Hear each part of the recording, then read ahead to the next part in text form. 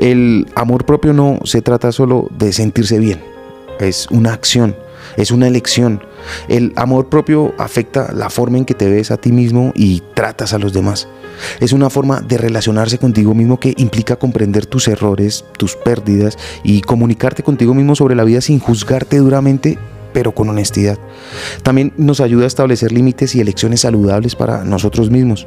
Las personas que se aman a sí mismas difícilmente sufren de ansiedad o de depresión.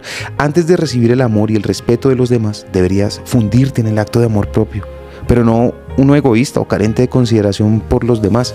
Sin amor propio, podrías ser incapaz de tener éxito en lo que haces o con quien te rodeas. Este libro tiene un mensaje muy simple ámate a ti mismo. Pero para algunos de nosotros que quizá no sepamos cómo hacerlo o hacerlo correctamente, es una guía sobre cómo llegar allí.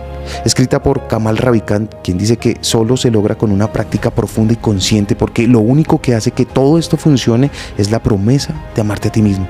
Ese amor es tu secreto para vivir una vida saludable y satisfactoria. Decide amarte todos los días y ser consciente al respecto. Pase lo que pase a tu alrededor, decide nunca traicionarte. Ámate como si tu vida dependiera de ello. Lo aprendí en la vida, está en los libros.